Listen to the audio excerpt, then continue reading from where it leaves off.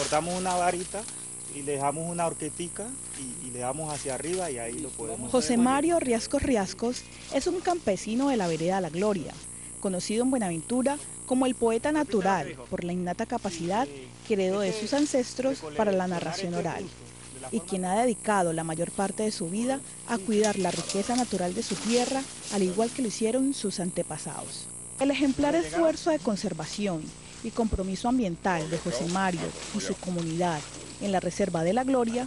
y el uso que tradicionalmente le ha dado su gente a algunas plantas sorprendentes y desconocidas para la gran mayoría de los colombianos se unen a la explicación iluminada por el conocimiento del investigador Roberto Tulio González de la Universidad del Pacífico